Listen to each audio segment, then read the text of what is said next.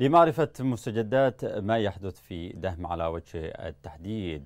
عبر الهاتف الشيخ خالد شطيف شيخ قبائل دهم الجوفي وفينا بالتفاصيل. شيخ خالد يعني ما الذي أدى لانفجار الوضع؟ ما هو الذي جعل من القبائل تنتفض في وجه هذه الميليشيات؟ حياكم الله أخي الكريم. اولا نحييكم ونحيي قناتكم الكريمه ما يحدث في الجوف هو جزء مما يحدث في اليمن. المرحلة وصلت إلى أن الناس ترفض الميليشيات في كل منطقة وكل قرية وكل بيت.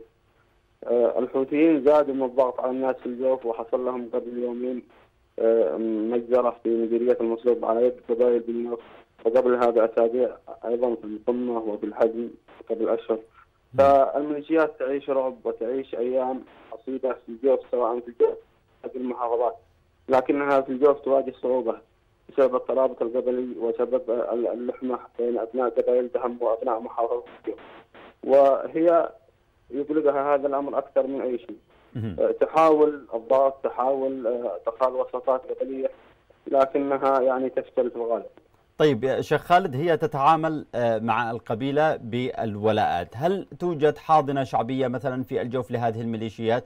يعني وهذه الولاءات قد تشكل لكم عائق في يعني في آه، آه، المعركة القادمة؟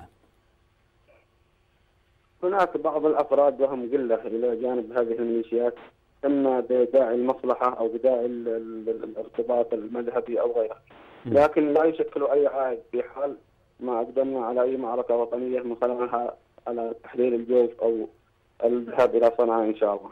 طيب ماذا تعني الانتفاضة الآن؟ ما هو المطلوب يعني لتكون في مسار صحيح يعني ولإنجاحها إن صح التعبير؟ آه الانتفاضة سبب عدة انتفاضات. وكانت هناك عشرات القتلى من الميليشيات وهناك بعض الأطقم والوسائل والمعدات أخذت على المحوثين من من من مركز المحافظة ومن مديريات تحت سيطرتهم. هي تحتاج يعني إلى معركة كبيرة. معركة نستطيع من خلالها دحر الحوثيين من أطراف المحافظة إلى تحرير مركز المحافظة.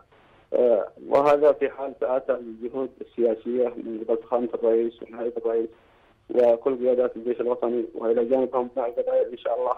نعم. فإن بدا الحوثيين في الجوف مجرد وقت نعم جزيل الشكر لك شيخ خالد شطيف شيخ قبائل دهم آه، في الجوف على كل هذه الإيضاحات.